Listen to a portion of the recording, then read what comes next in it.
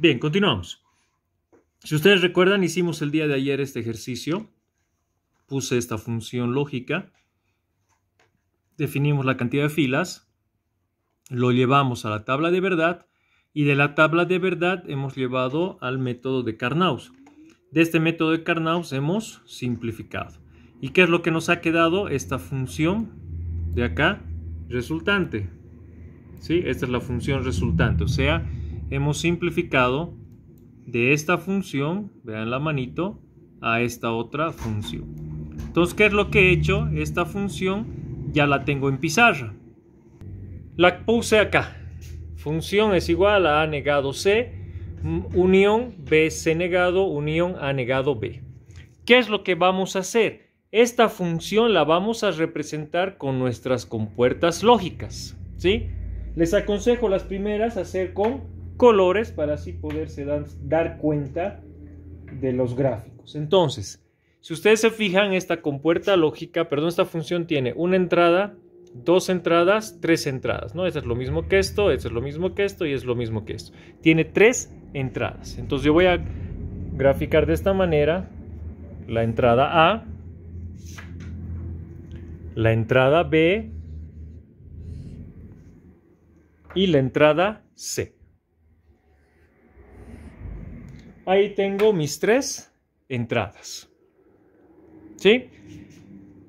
Lo mejor es siempre graficar mediante las compuertas AND. Entonces, ¿qué es lo que tengo acá? Si ustedes se fijan, tengo el A, vamos a obviar ahorita el negado, ¿sí? Tengo A, intersección, C. A, intersección. Maneja esta compuerta AND, no se confundan. Cuidado, me digan sí o sí tiene que ser AB, no, puede ser AD, DB, ZA, ZY, lo importante es de que como es una intersección, sabemos que es una compuerta AND. Entonces tenemos la A con la C. Tengo A, tengo C. Entonces yo voy a diagramar acá la compuerta. La compuerta sería de esta manera. Aquí voy a tener esto y esto, tal cual está acá. Mi salida, en este caso, que va a ser A negado C. Acá tendría que venir anegado C. ¿Sí? Bien. Entonces, si ustedes se fijan, el C es el C. Voy a empezar por, el, por esa entrada. Entonces, ¿qué es lo que hago? Voy a hacer la línea de acá, por esto estoy haciendo el mismo color, vengo acá, vengo acá y lo intercepto. ¿Qué está ingresando en este caso? En este caso está ingresando C. Correcto. A la entrada A, ¿qué tiene que ingresar a la entrada A? Tiene que ingresar el A negado. Entonces, ¿qué es lo que tengo que hacer? Esta A la tengo que negar, ¿verdad? La tengo que negar. ¿Cómo lo niego? Con la compuerta NOT. Va a ingresar A y ¿qué va a salir aquí? Va a salir A negado. Entonces simplemente voy a graficar esa simbología. Ya la tenemos. ¿Sí? Entonces, ¿qué va a ingresar acá? Va a venir el A. Va a ingresar acá, en este caso, A. ¿Qué tendría que salir? Tendría que salir A negado. Y este A negado voy a enviar acá. ¿Qué quiere decir? Aquí va a ingresar A negado. A negado C. Representa A negado C, la intersección entre A negado y C. Entonces hemos hecho el primero, que llegaría a ser este de acá. Ya está anegado C.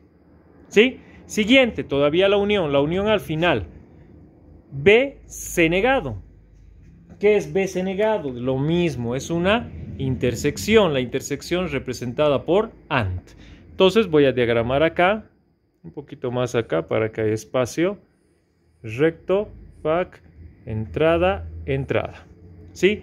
¿Qué tiene que salir en su salida? Tiene que salir B, C negado. Vamos a colocar B, C, negado. ¿Sí? El B directo, ¿no? Porque sabemos que es B. Para, hacer, para hacerlo, puedo, tengo que venir por aquí todo esto. No, podemos ir por acá, pero hacemos un pequeño puentecito. O sea, ¿qué quiere? Vengo aquí, hago este pequeño puente y ese indica que no hay conexión. ¿Sí? ¿Qué quiere decir? Estoy mandando la señal B. Y aquí sería B. ¿Sí? Ahora, ¿qué señal tiene que entrar? C negado. ¿De dónde? De este. ¿Qué quiere decir? Que debo negar el C con la compuerta NOT. Entonces diagramamos, lo podemos diagramar acá, pero el espacio nos va a limitar un poco, lo voy a diagramar aquí abajo. Estoy haciendo un diodo. Nuevamente.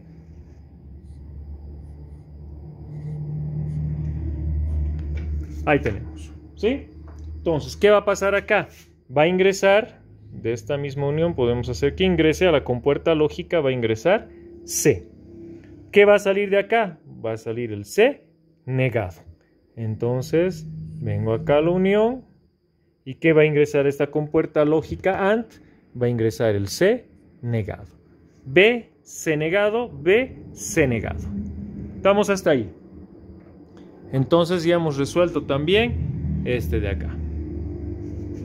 Siguiente. Ha negado B. ¿Sí? Ha negado B. Entonces, bueno, las compuertas lo podemos colocar en un lugar más cómodo. Creo que se nos va a hacer más cómodo si lo colocamos por acá, ¿no? Si es acá, tenemos mucho que recorrer. Entonces lo voy a colocar por acá. La compuerta lógica. Sus dos entradas. ¿Qué tiene que salir acá? Anegado B. Va a salir anegado B. ¿Sí? Anegado. Entonces, si ustedes se fijan, ya en esta ya estoy negando. O sea, no tengo que hacer otro de estos acá para que ingrese. Directamente puedo sacar de este mismo punto. ¿Sí? Puedo sacar y mandar la señal. Entonces, si ustedes se fijan, va a venir ya a negado, va a venir acá, a negado. ¿Está perfecto? ¿Qué nos falta? El B, el B normal. Entonces podemos sacar de este de acá. Agregamos un punto. Venimos, el puentecito, venimos, el puentecito, venimos y conectamos. ¿Qué sería este? B. ¿Qué tenemos en la salida? Anegado B, anegado B. ¿Sí? Fíjense hasta el momento lo que hemos hecho. Listo. Hemos cumplido con las intersecciones. Ahora, ¿qué son las uniones? Las uniones, que sería el signo más, los representamos con la compuerta OR. Ese es su gráfico. Como son de dos entradas, las compuertas que vamos a utilizar, fíjense, tengo una, dos, tres salidas. Tendría que ir a tres entradas. Pero vuelvo a repetir, estamos manejando de dos entradas. Entonces hacemos de dos en dos. Primero agrupamos estos dos.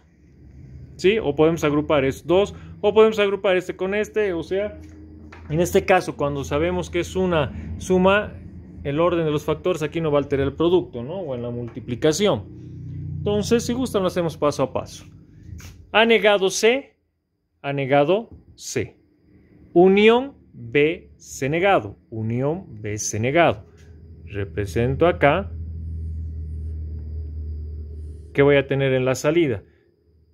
Va a venir de acá la entrada. ¿Qué va a entrar aquí? Ha negado C. Y de acá, ¿qué va a entrar acá? B, C negado. ¿Qué va a salir? A negado C, unión B, C negado. Hasta el momento tenemos eso. ¿Qué me falta? Debo unir a negado B, que sería este de acá. Hago otra compuerta, unión, vuelvo a repetir, la compuerta OR. Vengo acá, y va a venir anegado B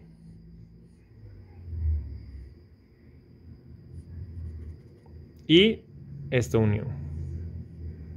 ¿Qué voy a tener en la función resultante? Ya la función directamente, ¿no? Función es igual a A negado C, unión B, C negado, unión A negado B. ¿Sí? Entonces, de esta manera nosotros hemos graficado. ¿Qué es lo que hemos graficado? La función de ayer, la función resultante de la simbología con el método de Carnot, hemos representado con compuertas lógicas. Ahí tienen. Muy bien, espero estén bien entendido.